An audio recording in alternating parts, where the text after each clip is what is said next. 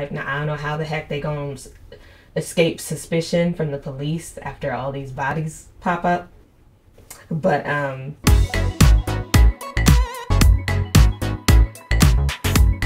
Hiya and what is up? It's your girl, Sketchbooks and Book Books, also known as Logan. And this girl has currently uh, finished. Well, not re- like currently. I don't know why I said that. Recently, I finished A Touch of Jen by Beth Morgan, and I've been wanting to do a review on it because sadly, it's like it's when you go on Goodreads, it does not have the highest of ratings. It's like the average. Well, not the average, but the most common rating for it is three stars. Okay, and I really liked it. I really liked it. I gave it four stars. All right. Um, but anyway, so I just want to get right into the review.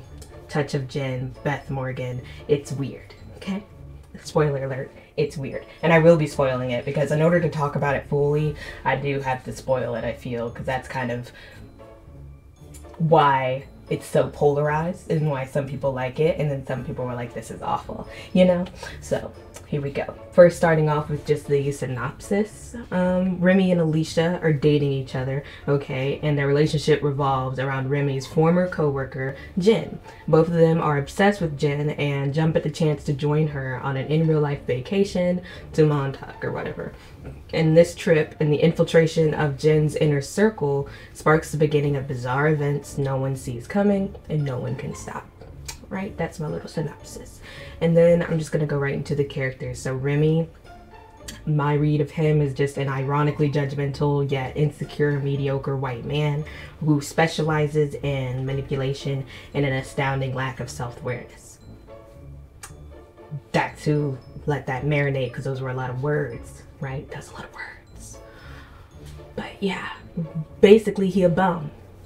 An unimpressive bum, but he don't know he a bum. For some reason he think he's like average, and I guess he is average. But then it's just like what makes me say he's a bum is how judgmental he would be towards other people, and I'm like just like chill, sip some humble tea on that. Just sip some humble tea and pipe down, and you would be more likable. But anyway, Remy, he's annoying. Then we go to Alicia, you know, his girlfriend, the other half of this obsessive relationship. Um, I have something in my eye. I think I got it. That was distracting.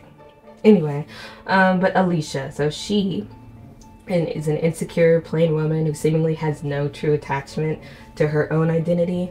Um, and I think this just comes from her insecurity, and then it's also fueled into this relationship where she's knows her boyfriend has a crush on his former coworker that just evolved into an obsession, and then she's just playing into that. Like they literally role play Jen in bed, you know? Just you acting as another girl for your man. That's what Alicia is doing. It's giving weak knees. You know what I'm saying? She just, she's struggling. Okay, Alicia's struggling. But then we move to Jake, who is their roommate, and they make another source of like bonding for them because they make fun of him for being a weirdo. When, in my opinion, he's the most normal person in this book. Honestly, for me, he's the most normal person in this book. In hindsight, Jake was minding his business and knew what he was about he was minding his business, knew what he was about, and I just that's what I need.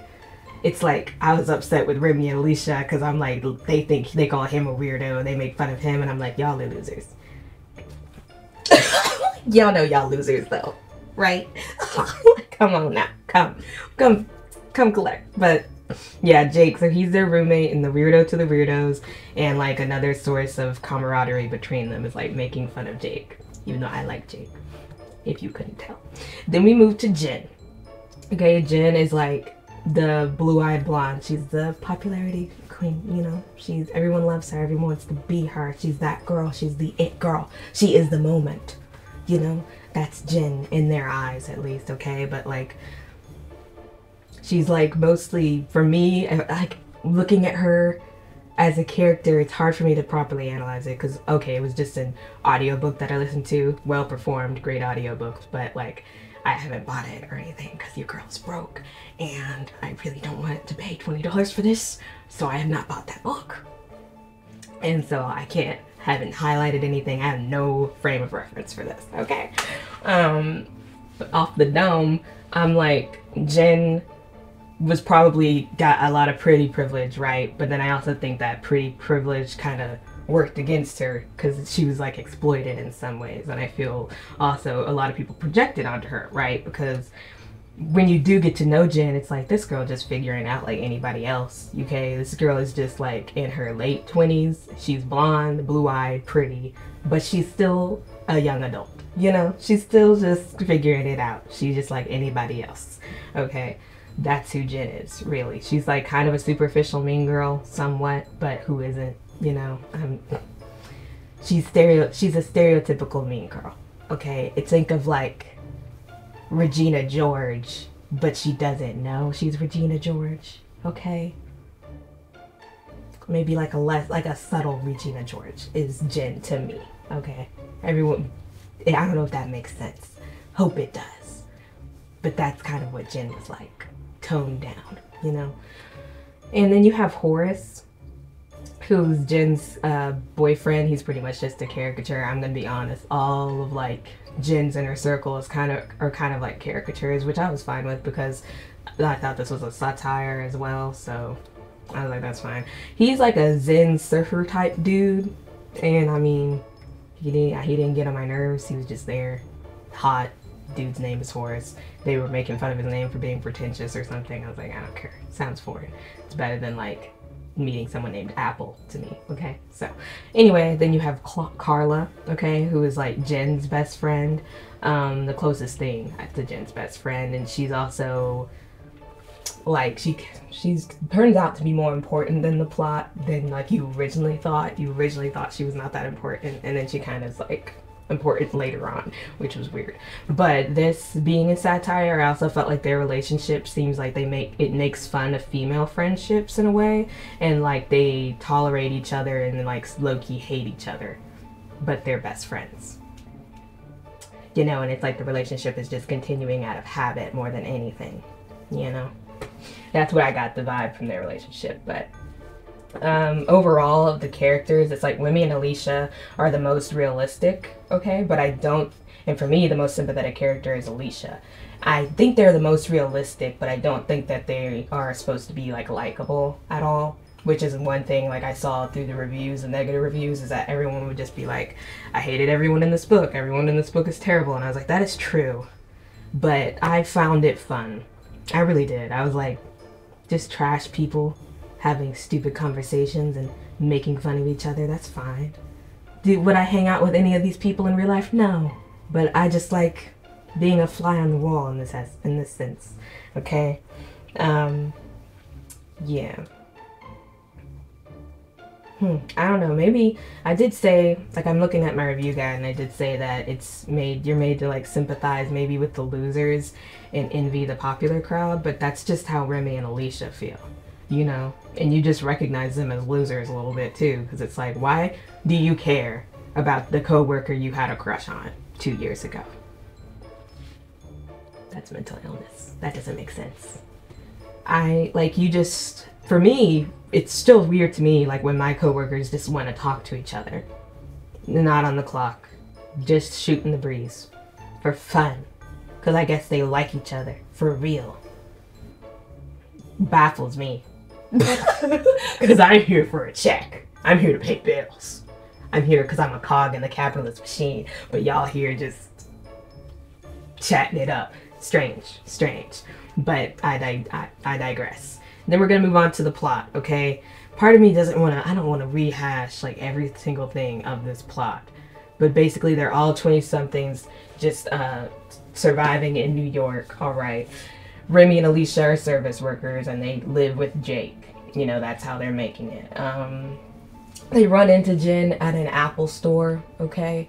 And she invites him on invites them on this vacation. Everything is going pretty well, actually like too well for Alicia. Alicia is fitting in more so than Remy is. Remy's like he runs into a lot of awkward instances because you are going to when you obsess over someone in your head and then you act like you're so close or like you act like you know them and there's you're relying on so much familiarity familiarity what that that just be making up words call me Dr. Seuss. I just really do be making up words. But no, you're like he's relying on this like familiarity with her. Okay, and she's she's not giving it to you. So then it's like it's awkward. Okay, it's it was weird, and I just really like some people. This was also another thing that people had uh, qualms about with the touch of Jen.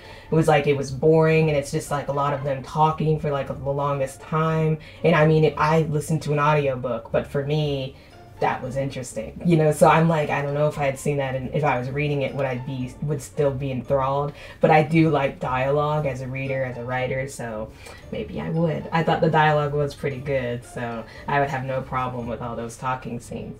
Um, especially if i thought it was it's like a social commentary she's just making fun of these people and people who have conversations like this you know but anyway, um, they go on this uh, event, and Alicia is kind of like sinking her way into the inner circle of Jen. She's actually becoming her friend, and they bring up this book called The Apple Bush, which is pretty much like this weird manifest your best self. It's a self help book. It's all the cliches thrown into one. You know, apples don't even grow on bushes. Well, if you read the book, you would get that. like you would understand that's the point. Like that's literally like a line in there. Um, but yeah, so it's like Carla and Jen have both read this book, and then they're like recommending it to everybody on the trip. And then something happens where Alicia is like sleep she sleepwalks into Jen's room, and that makes Jen just like be so like, oh, you're creepy, you know? So she doesn't like her anymore, and it makes the trip really awkward. So then they have to go home.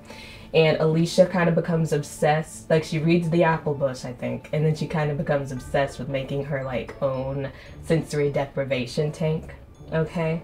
Um, and just, like, bettering herself. Like, she just, she's trying to become her best self now after reading that, um, that book, The Apple Bush and her best self just happens to kind of be Jen, you know? Um, but like I think Alicia doesn't really this is all told kind of through third person and I don't think Alicia really questions that and it's not looked at as weird for her as she's doing this. You know, she's just like trying to become her best self, but then like you realize this is kind of coincides with her playing around as Jen. Um, and then she runs into Jen at her new job where she's told the people that her name is Jen. And it freaks her out, of course. Freaks Jen out. And Horace is like, well, maybe it's just a misunderstanding, which was which was stupid. But he's like a mediator always. And then so Jen is scared and runs off. And then like shortly after this, this is when this is what I would mark as the turning point for this book when it's like this is when it just it did that genre dive, okay? Because then Alicia dies in a freak bike accident just was shocked. I was so shocked because you Donnie it's a Donnie Darko. You don't kill the main character. You don't do that. You just don't do it. You don't do it in your own movie. And then so every time it happens, I'm just like, wow, I respect you so much. I'm like, you really did just kill off that main character. No skin off your nose. You're like, you it doesn't matter. Everyone's expendable to me. So yes, she dies. And then Remy has to go through the motions of the funeral and everything, all while being in intense denial that she's actually dead. He's like, I can't believe she's actually dead. She's not dead. I'm gonna, I'm gonna go home and she's gonna be there or something, okay? That's what he's thinking. And then Jake is like he recommends this grief app where it like analyzes all the text messages you have with this person and you can kind of text your dead loved one. Okay, so Remy gets on that and he thinks sometimes Alicia is speaking to him to him through the app and it's weird, okay? But um and then like all the while he's been seeing this weird thing that only he seems to see and then like hearing something too along with it and it's apparently this monster they call it something in the book like a para it's I don't know what. It's like a, it's a monster though, okay? And it's like this paranormal thing. Um, and it's supposed to be in the manifestation of the obstacle keeping someone from their best self. And that someone is Alicia. So it's the obstacle keeping her from becoming her best self. Okay? And Remy keeps misinterpreting like what this obstacle means. Like he first he thinks that of like he for some reason he's gonna have to kill Horace because that's the obstacle. And obviously Alicia wants him to be with Jen. He kept he kept misinterpreting like what her what that meant like how he's gonna stop this monster. And it was only made me more frustrated and annoyed with him. But anyway um long story short, he ends up like at Jen and Horace's apartment, and this monster appears, and so they're running for their lives, and basically it, it kills everybody, kills everybody. Um, all the friends, Carla, Jake, Horace. I'm pretty sure Horace died. No, Jake died. I was mad about that. I was like, Jake, my boy, is innocent, but okay. Um, yeah, and then so like as it's chasing them, he kind of realized like Remy realizes like it looks like Jen, okay, this monster, and so he starts hitting Jen, and then the monster dies, so he kind of has to beat up Jen to save himself. But then he drags Jen's body into like the self-made deprivation, sensory deprivation tank that uh, Alicia made, and then like she crawls out of there. Alicia, role playing as Jen, climbs out of the hot tub, and that's the end of the story. That's it. I don't even think I explained that well. I think like you, like I just re- gave you a rundown of everything that happens, and you're like, I'm still confused. And honestly, I feel like I'm more confused than I read it. I read it myself, and I'm like, did that? Is that what happened? I tried. I tried, but that's not really important. Okay, the plot's not that important because I'm gonna talk about themes.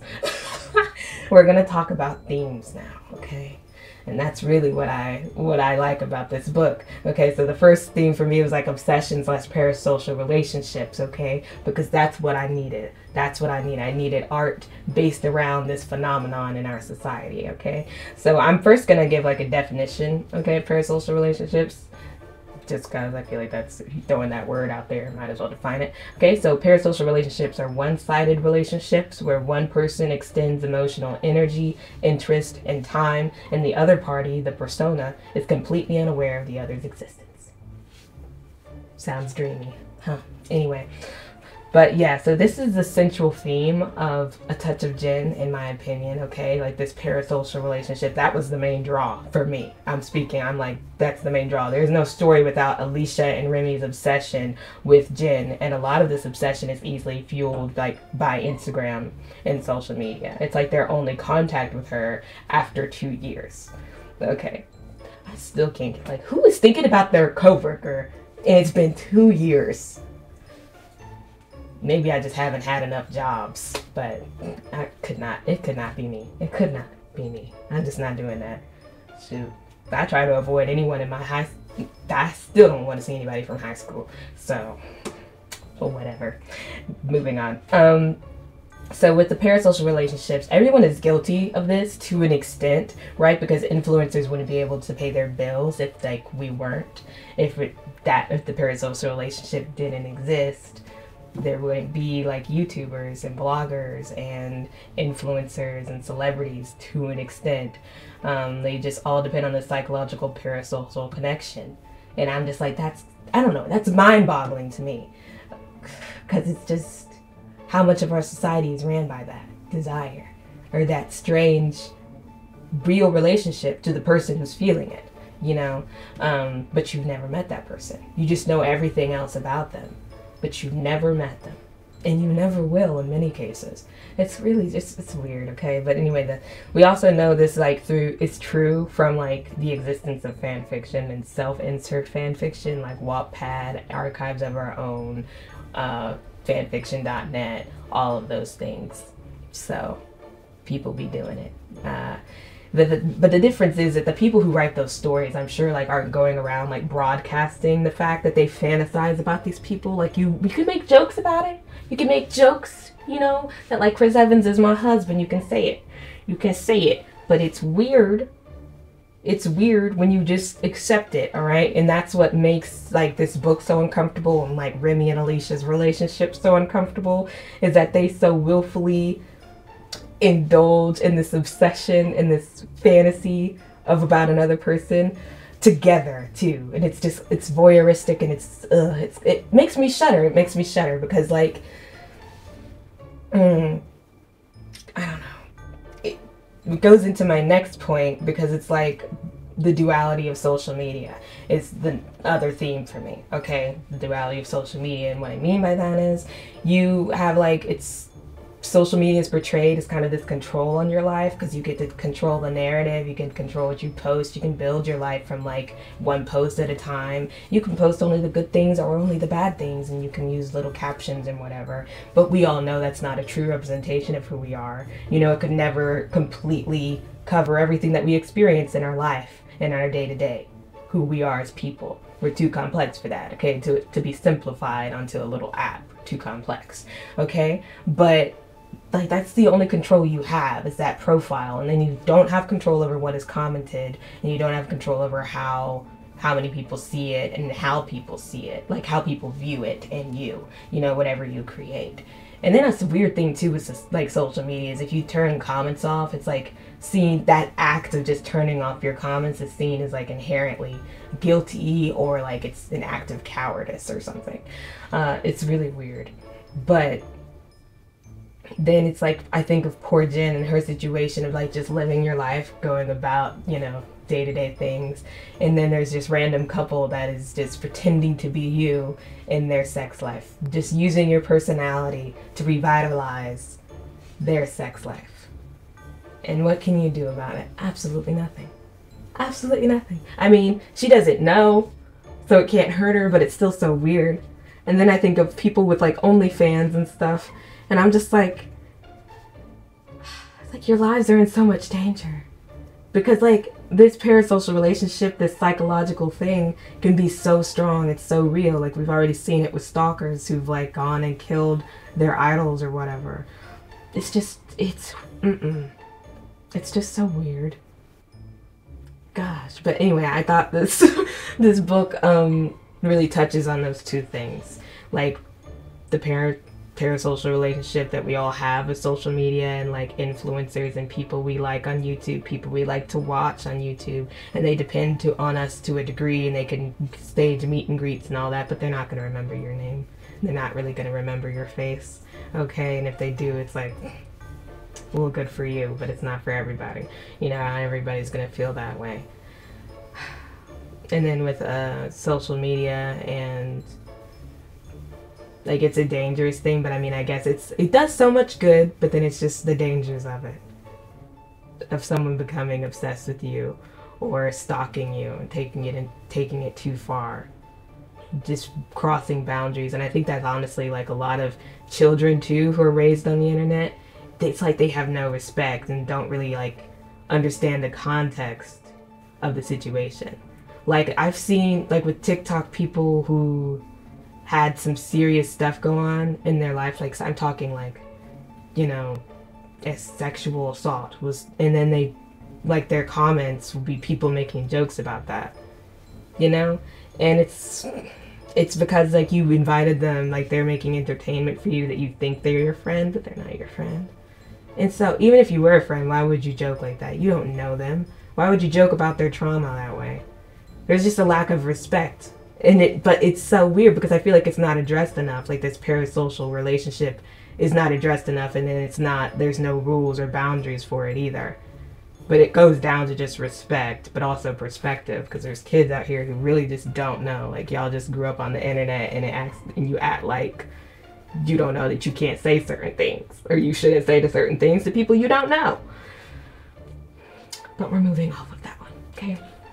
We're moving off of those. Moving on to the third um, theme for me, which was socially influenced self improvement. Okay, well, really just self improvement, but uh, this mostly comes into play with Alicia because for me, she's like the only character I cared about in the whole thing. The only character I was rooting for was Alicia, and I kind of just wanted Alicia to be like to leave Remy, obviously, because he he sucks. we don't have to be with this man. We don't. We could find somebody else. We could have a glow up baby. We don't even, I mean, we could just accept ourselves. That's what I wanted for her. That's what I wanted. I wanted her to just glow up and love herself, okay? But that did not happen.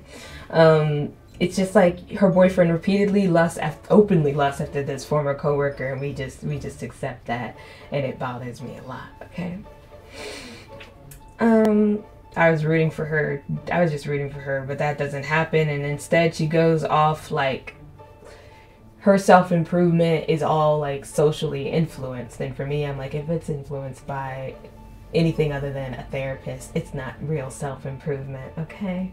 It's not real self improvement. Especially because, like, trigger warning, she talks about like overcoming an eating disorder um, pretty bluntly in the novel. Uh, I think it was like bulimia but she talks about it pretty bluntly and it causes like awkwardness whenever she brings it up because she brings it up just like so like casually. Um which i was like i like that about alicia. I was like i like that she would just say that. That's how um, because it's like if it's just a fact of life if you treat it like that i mean that's true. I liked her for that. I don't know. I really liked alicia. She was my favorite character. But anyway i keep losing my train of thought i feel Eh, but yeah, so she goes about this self improvement like so wrong because she's like trying to fix herself to in like in the eyes of society. Like she's trying to make herself desirable according to what society has deemed is desirable. And we know that's bull crap. Like ain't nobody care what any that's like I'm like self improvement you should have is just accepting who you are and just learning to love who you are, you know, and just being like screw you if you don't like it. That's what I wanted for her. That's what I want for everybody. Is that confidence, you know? Mm. I don't have it all days, but I do pretty much. I'm just like, this is me. You know? This is I. This is what you're gonna get. I actually, in high school, I went through a phase where I was like, I don't like makeup simply because it's called makeup. And what are you making up for? What are you lacking? I don't like it. like, I don't like what it implies. I I'm like that's so stupid. And now I'm jealous of people who were really good at makeup. But anyway, I had a hill to die on, and I sure did die on it. Anyway. but yeah, so her influence, like she never, poor Alicia never asked like any questions to get into like why she, why does she let Remy treat her this way? Why is she in a relationship with a man who obviously loves someone else? Why is she role playing this woman? What makes Jen better than her? You know? What makes Jen desirable? Why am I obsessed with her? She just feeds into it because that's their connection. Um, yeah, and then like, what is she gonna do? That's one connection she has. It felt like she was like, I can't. Both of them are so insecure in a way that they're like, this, I can't get any better, so I'm just gonna settle with this. Which I hate because I, if I was insecure, I would just be by myself. Like, I don't want to be with someone else because that's like so much energy. But I'm also an introvert. Like I'm just like I'm not just with another person. You don't even like them that much. They're you're okay some days. Like tolerating another person for that long. I couldn't do it. I couldn't do it. But anyway. We're gonna go move on to the final stage, takeaway, okay? I actually watched an interview of Beth Morgan given by Jean Kyoung Frazier, who wrote uh, Pizza Girl, which was really cool. It was a really cool interview, and I'll link it below um, if you want to watch it. But I mean, if you ever read the book, then I don't see why you would. But hey, maybe she was cool. From my like, just from the interview, I was like, Beth is a cool girl. She never had to be. She was never a Remy or an Alicia. She was cool. She didn't care. But but anyway, um one amazing thing I learned in that interview was that she started over this, she started the book or the draft for A Touch of Jen eight times. And Alicia wasn't even in the first draft, which I was like, that's a book I wouldn't have read. Simple, I wouldn't have read that. That would have been a no for me. The wedding would have been so different. And it was like more like uh, Remy, Horace, and Jen somehow would have been like the May players. And I was like, that's stupid. Ain't nobody want that. that's boring. I'm so glad she added uh, Alicia. But anyway, Beth mainly talked about how she wanted to make a genre defying book, okay? Like a book that just switches tones. That has a dramatic tonal shift in the like uh, later half. And I mean, she definitely did that. I just kind of hate that it's that precise thing that has divided so many people on a touch of Jen. Like if you go in the comments or not the comments, the reviews of a touch of Jen on Goodreads, you know, it's people who like kind of I think tapped out before. Who were like, these are terrible people, I can't take it. And then there's people who are like, okay, I love this like the like the twist ending with the whole monster thing, okay, and Alicia becoming Jen. I love that element. And there's people I wish it was it just stuck to the social commentary and I thought it was stronger before it went there. And then there's people who it isolated in confusion and were like, I don't even know what to make of that. For me, I loved it because I thought it was like, it's just the epitome, or it's the saying, be careful what you wish for, for me. Because like Alicia steps out of that hot tub as Jen, you know? And then what I envision, I'm just like, that's what they do for the rest of their life. They just, she just pretends to be Jen for the rest of their life. Now, I don't know how the heck they gonna escape suspicion from the police after all these bodies pop up. But, um, I'm thinking somehow they could escape that, whatever. And then I'm thinking, like, Remy will just be belittled. I hope this power in the relationship shifts to uh, Alicia as Jen and she belittles him because I think that's what Remy really wants deep down. Like, I kind of think he wants to be belittled and he wants to be treated like a loser sometimes, and then she'll make him feel like, you know, like he's not, I, I don't know, he won her or something, and they'll just go sleep together. And that's the end. Like, I'm. I guess it's a happy ending for Alicia, but not really, because I mean, Alicia didn't get to be Alicia. But I mean, she feels good. She feels hot. She's Jen now. So, mm. yeah, even I'm still kind of like confused at the end of this review, but I liked it. it that's what it means. I liked it, and I do want to buy it, and I do want to put it uh, with my other books on this shelf. I would love that because it does have a really pretty cover. But um, yeah, that was my review of A Touch of Jen. tell me what you thought, if that was coherent, if that made sense at all. Um, yeah, and if you want to read it, you know, if I piqued your interest, please read it, please, because I really thought it was good. I really liked it. So anyway, yeah, so that's been sketchbooks and book books. Go read a book book, have some thoughtsy watsies, and I'll holla at you later.